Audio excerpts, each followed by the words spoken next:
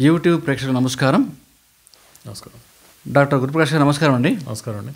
మరి మీరు హైదరాబాద్ మహానగరంలో యశోద హాస్పిటల్లో ప్రముఖ సీనియర్ ఇంటర్వెన్షన్ కార్డియాలజిస్ట్గా పనిచేస్తున్నారు కదండి. మరి అయితే మన భారతదేశంలో చూస్తున్నామండి ఈ గుండె జబ్బుల సంఖ్య రోజు రోజు పెరిగిపోతుంది. కరెక్ట్ అండి. మరి ఎందుకు పెరుగుతుంది? కారణాలు ఏంటి?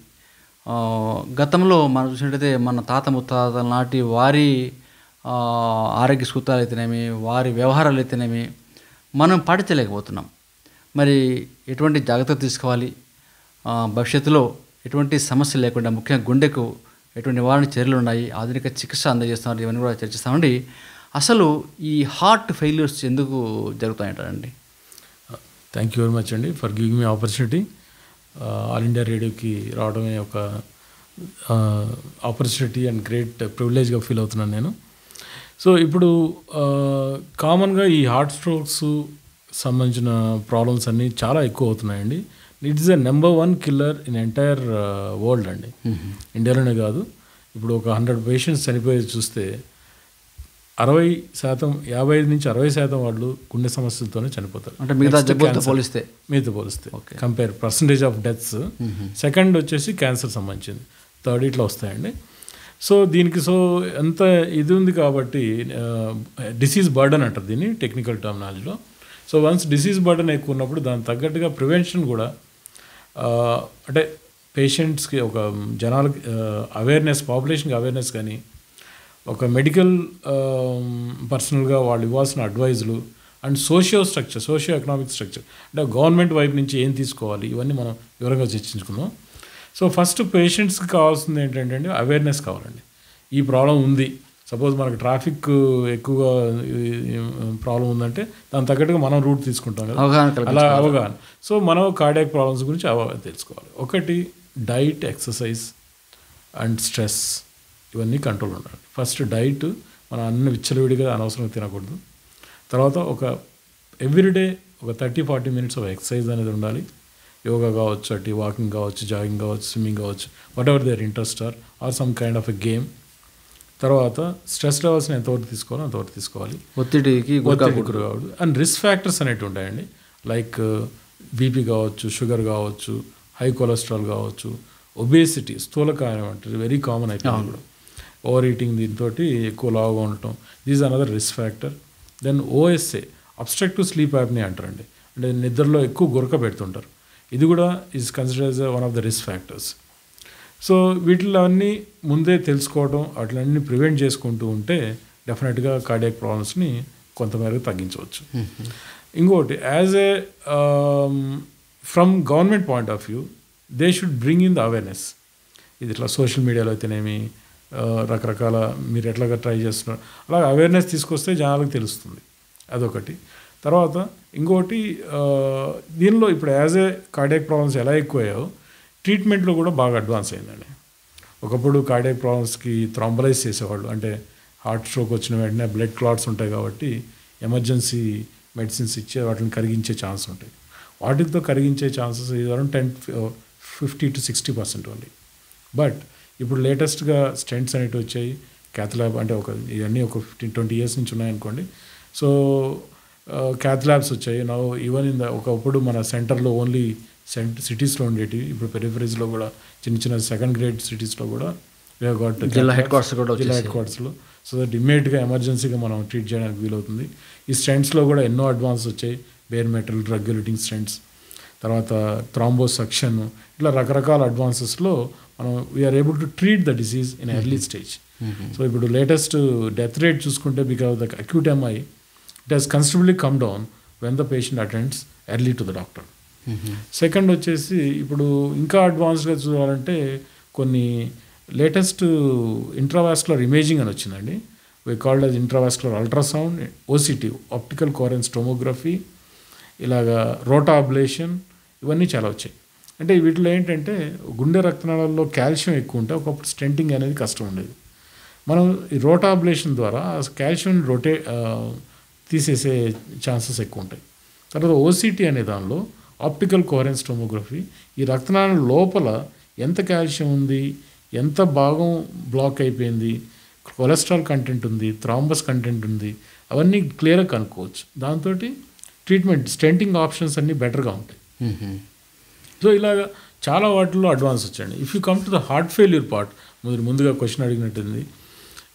హార్ట్ ఫెయిల్యూర్లో ఏంటంటే is now heart failure is becoming more and more because you are able to treat the disease suppose ischaemic heart disease ఇవన్నీ ముందుగా ట్రీట్మెంట్ చేయడం వల్ల over a period of time they become heart failure patients అంటే ischaemic కార్డియోపతిలా develop అవడం వీటికి కూడా ఒకప్పుడు ఓన్లీ డై డిగాక్సిన్ డయాబెటిక్స్ ట్రీట్మెంట్ ఉండేటివి ఇప్పుడు ఏంటంటే కొత్తగా వచ్చాయి. Like CRTD cardiac resynchronisation therapy అంటారు.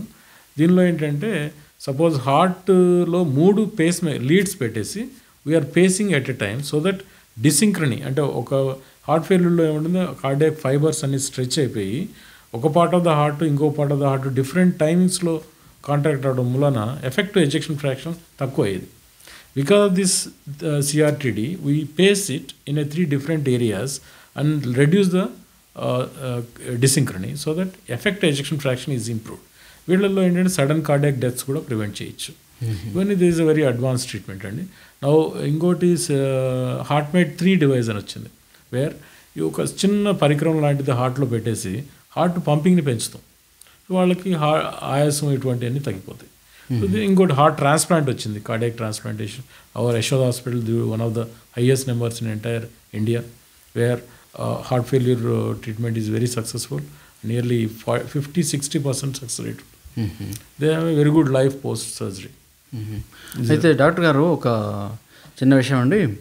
ఇలా హార్ట్ ఫెయిల్యూర్ జరగబోతుంది అని పేషెంట్స్కి ఏమైనా తెలిసే వీలుంటుందా? అలాగే పక్క వారికి గమనించే అవకాశం ఉంటుందంటారు. ఈ హార్ట్ ఫెయిల్యూర్లో కామన్గా వీళ్ళు ఏంటంటే ఆయాసంతో సిమ్టమ్స్ తోటి వస్తారండి లక్షణాలు. తర్వాత అలసట ఉంటుంది. అంటే నిస్స అంటే ఫటిక్ లాంటిది. కొద్ది దూరం నడవగానే వాడు ఇంకేం శక్తి లేని అన్నట్టుగా అయిపోతారు. కాళ్ళ వాపులతో వస్తారు. ఈ రకరకాల ప్రజెంటేషన్స్ ఉంటాయి. చాలా మటుకు ఇవన్నీ టూ డీ ఎక్కువ ఈసీజీ తోటి మనం కనుక్కోవచ్చు. ట్రీట్మెంట్ ఇనిషియల్గా అయితే డయాబెటిక్స్ ఏసినిబేటర్స్ అని ఉంటాయి. వాటితో ఇంప్రూవ్మెంట్ చేస్తాము. కొన్ని పరిస్థితుల్లో ఇంప్రూవ్ ఒక స్టేజ్కి వచ్చి ఆగిపోతావు.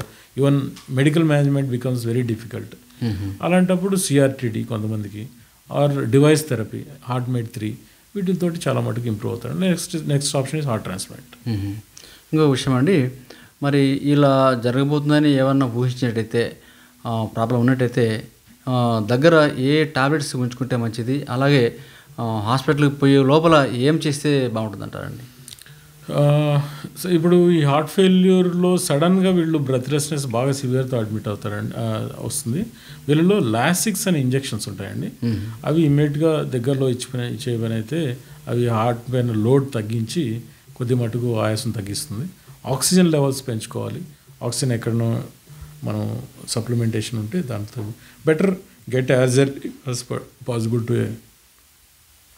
nearby hospital and get this treatment. అంటే ఇక్కడ డౌట్ ఏంటంటే గ్రామీణ ప్రాంతాలలో అంటే వెళ్ళలేని పరిస్థితి ఉన్నప్పుడు వాళ్ళు ఏం చేస్తే బాగుంటుందంటారు? ఆ, మరి దీనికి ఇమ్మీడియట్గా అంటే అంటే ఇంటి దగ్గరలో ఇచ్చే ట్రీట్మెంట్లన్నీ కాదు. వీలు పడదండి. బెస్ట్ లాసిక్స్ అనేటి దగ్గరలో ఎక్కడైనా చిన్న చిన్న గ్రామాల్లో కూడా దొరుకుతాయి అవి. అవి తీసుకునే పని అయితే ఇమ్మీడియట్గా ఇంప్రూవ్మెంట్ అవ్వే ఛాన్స్ ఉంటుంది.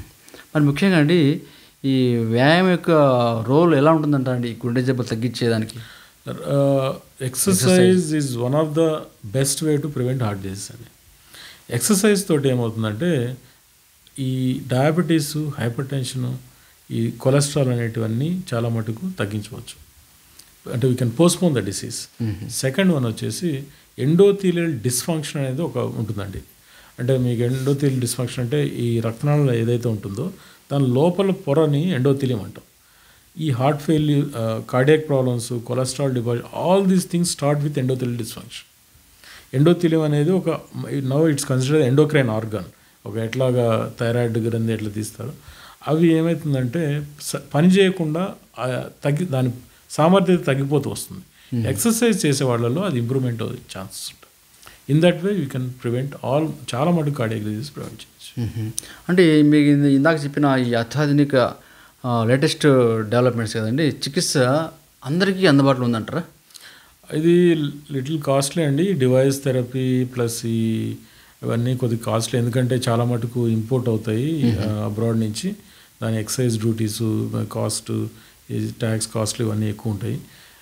ప్రాబ్లీ డౌన్ ద లైన్ ఇప్పుడు ఎక్కువ ఎక్కువ మంది వాడుతున్నారు ఇండియాలో మ్యానుఫ్యాక్చర్ అవుతుందంటే డెఫినెట్గా తగ్గే ఛాన్స్ ఉంటుంది. బట్ ఇంకొన్నిసార్లు తప్పదు ఇవన్నీ.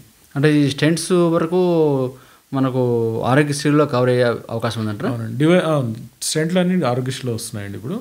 కానీ డివైస్ థెరపీ అవన్నీ ల్యాక్స్లో ఉంటాయి కాబట్టి గవర్నమెంట్ కూడా చేయడం కష్టం. బాగుంది డాక్టర్ గారు. ఈ గుండె ఈ గుండె జబ్బులకు సంబంధించి మరి ముఖ్యంగా ఎటువంటి ఆధునిక చికిత్స ఉందో చాలా చక్కగా వివరించారండి. ధన్యవాదాలు. నమస్కారం అండి. థ్యాంక్ యూ అండి. Thank you very much.